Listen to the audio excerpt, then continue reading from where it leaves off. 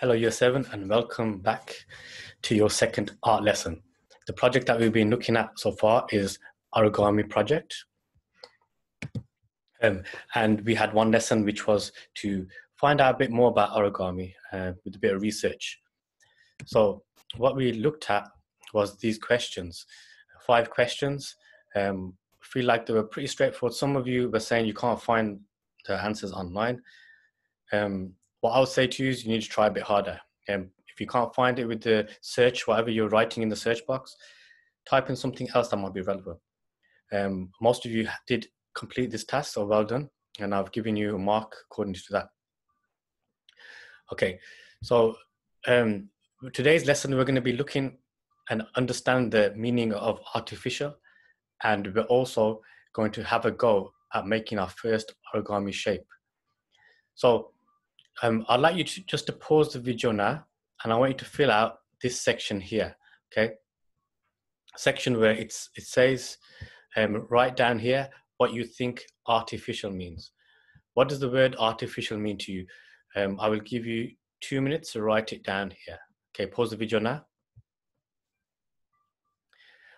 Okay, right. So now you should have written something here, and we're going to check what artificial means now. Okay, so artificial is some is made made or produced by humans, something that's made or produced by humans rather than occurring naturally. So something like um, trees, grass, animals, they're a human, they're not artificial. They occur naturally. But something like, if you look here, it's like fake uh, grass. Even these plants, you can have these plastic plants that are not really plants, they're fake. Robots are man-made. Okay, so you got these examples here. Okay, and the way that links in with origami is because the products you make, they're not real, they're artificial, they're man-made. Okay, um, looking back at origami and the questions that we answered, and um, for those who may have got a few of the questions wrong, um, origami split up into two, um, two words uh, into one. Um, ori means paper, gami means folding. So origami means paper folding. Okay, it originated in Japan and traditionally does not allow cutting. So um, normally, traditionally, they didn't cut any pieces; they just folded.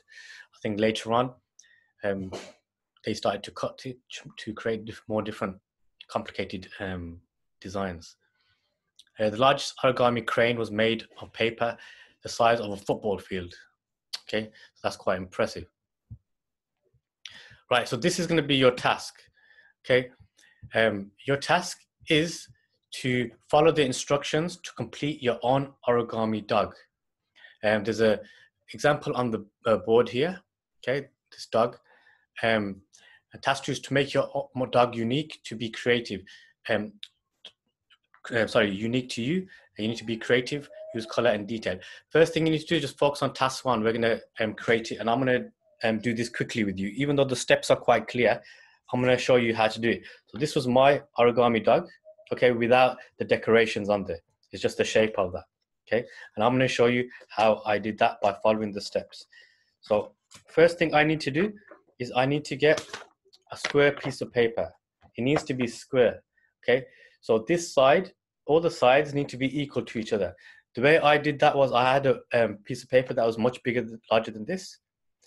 I used a ruler and I measured and this um, has a measurement of uh, 20 centimeters by 20 centimeters, okay, or 200 millimeters by 200 millimeters.